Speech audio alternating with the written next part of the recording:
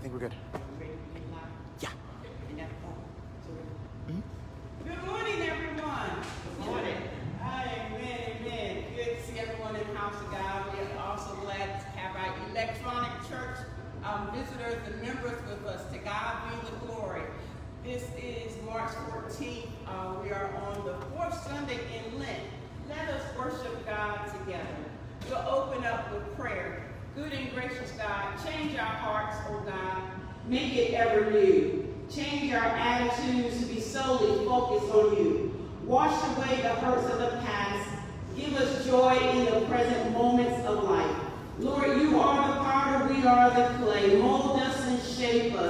anoints us, and use us.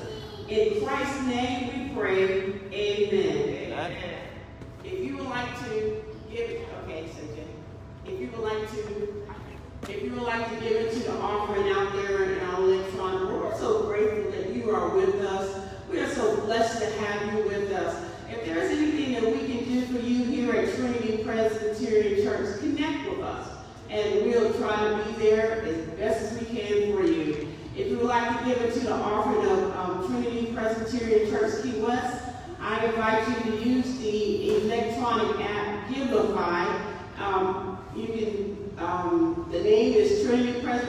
Church Key West, please, please, please put in Key West. There are millions, or we I should say thousands of trinities in this world. To God be the glory.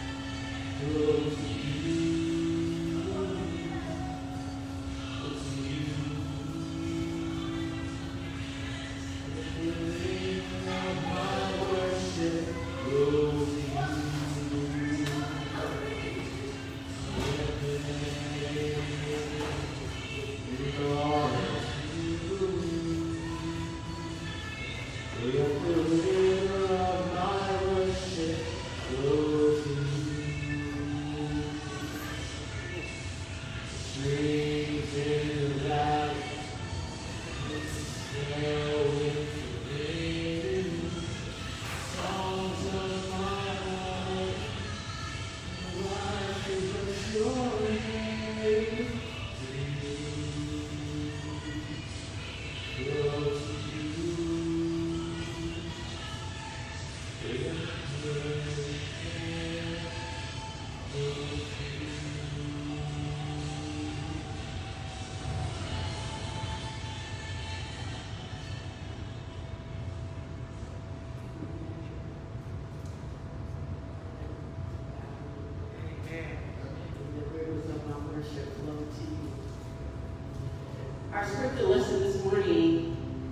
Coming from John chapter 3, verses 14 through 21.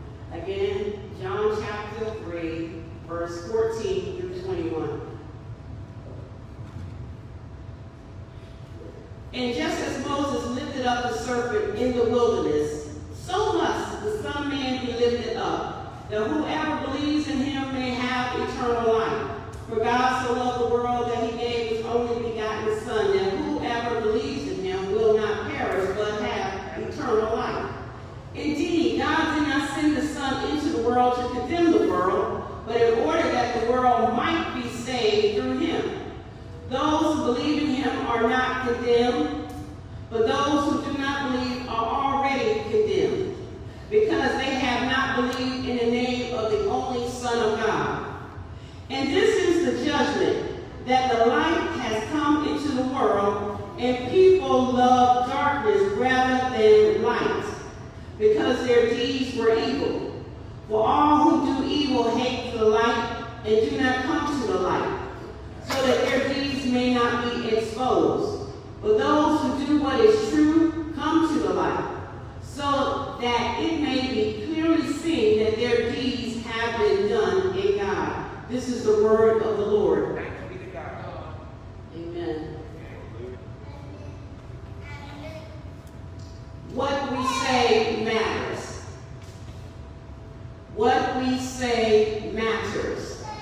And just as Moses lifted up the serpent in the wilderness, so must the Son of Man be lifted up. Those who do not, those who do what is true, come to the light, so that it may be clearly seen that their deeds have been done in God. John takes us back to the wilderness, back to a moment in history, to let us know that what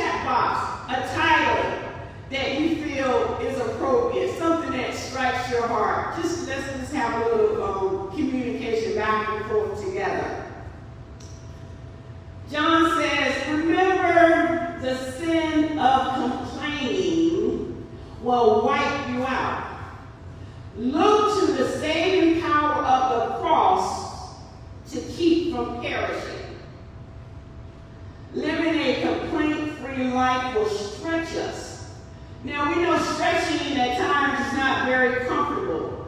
Stretching is not a very comfortable word. Stretching is what's done before a hard workout is begun. It prepares the muscles to begin to go the distance. At times, it takes stretching to get us from one point to another. It takes stretching when we're in that fourth quarter. You know, if you're playing sports in that fourth quarter. It takes stretching to get through the fourth quarter. It takes even more stretching when you're put into overtime or even double overtime. It takes a stretching in order to win. Most will prefer a miracle than to stretching. Because miracles just happen. They just fall into your laps. You know, most don't want to be stretched to go with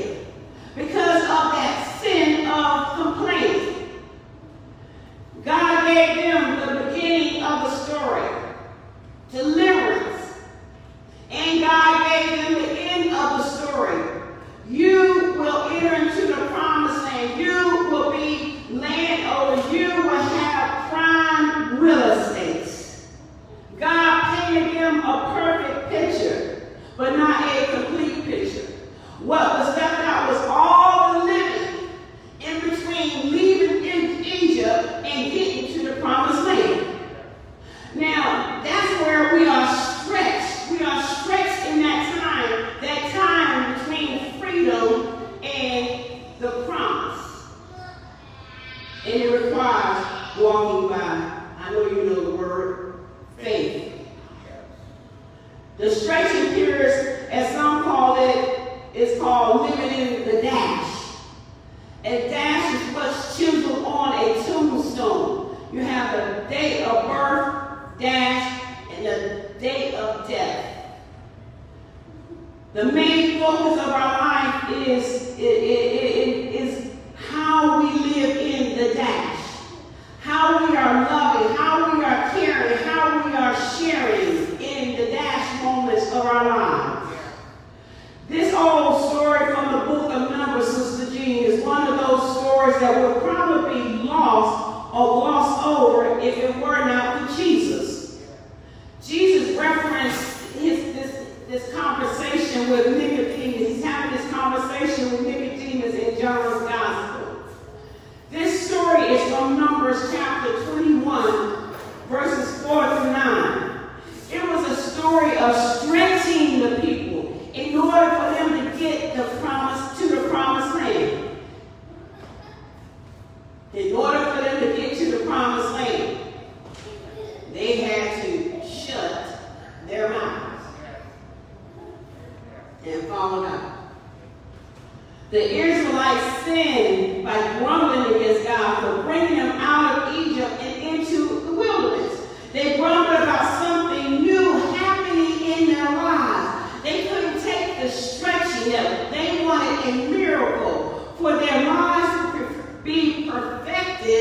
perfected in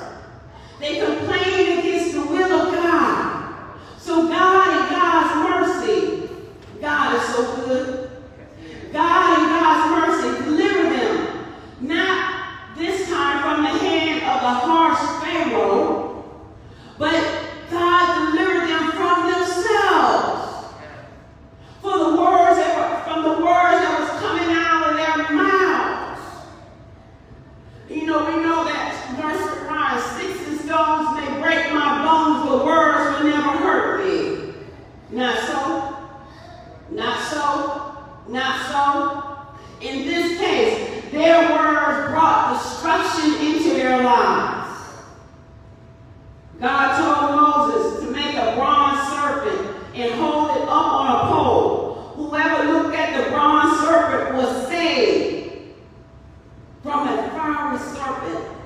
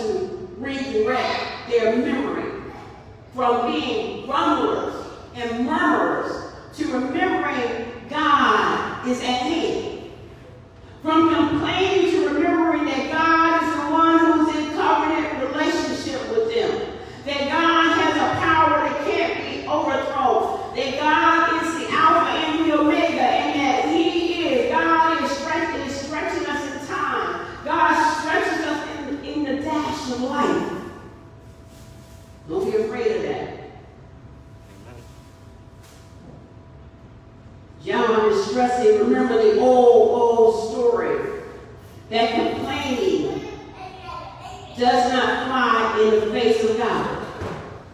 John is showing God requires complaint-free living.